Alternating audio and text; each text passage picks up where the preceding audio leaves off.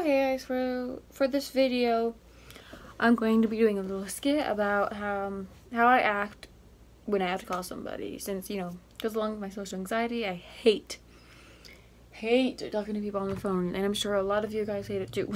So yeah, enjoy this video, relate to it. Hey, don't you need to schedule your dentist appointment? I can do this. I can talk to people. I can set an appointment. I also could just, you know, let my teeth fall fall out at once. And I'll be fine. People do it all the time. Don't have to make the call. But then AJ will never want to be with me if my teeth all fall out. I can do it. My mom does it all the time. I can call. Can I? Of course I can. I'm a human being. They're a human being. I mean, what's the worst that can happen?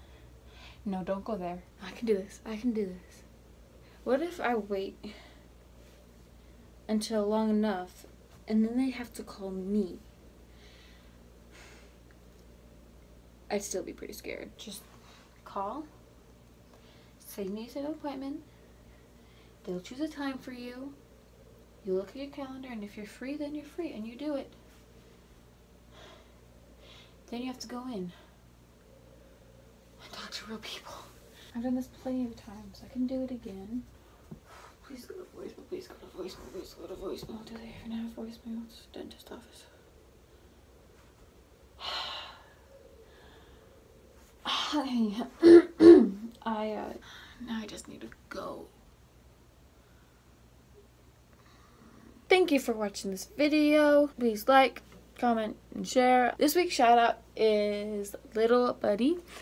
Again, I'll put his Twitter at the end of the video. Um, if you want to be shout out, just be active on my social media. Yeah, subscribe. Subscribe to Kirby and Shae.